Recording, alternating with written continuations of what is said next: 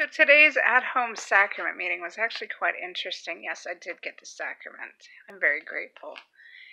Even if there's a time where I don't end up getting any, I can still put my mind in the mindset of partaking of the atonement and thinking about what the Savior's done for me and what He continues to do for me, even in the midst of this crisis. Anyway,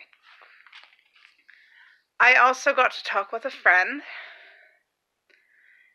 and that friend basically said that this opportunity is giving people a chance to learn to love each other in ways they wouldn't otherwise do so, in ways that are unique and special. And that's why we're putting awards in the first place, he says. We wouldn't be able to learn how to love everyone without being in wards and needing to love those we might normally ignore. And that's very true. And this situation will give people an opportunity to love a little bit more uniquely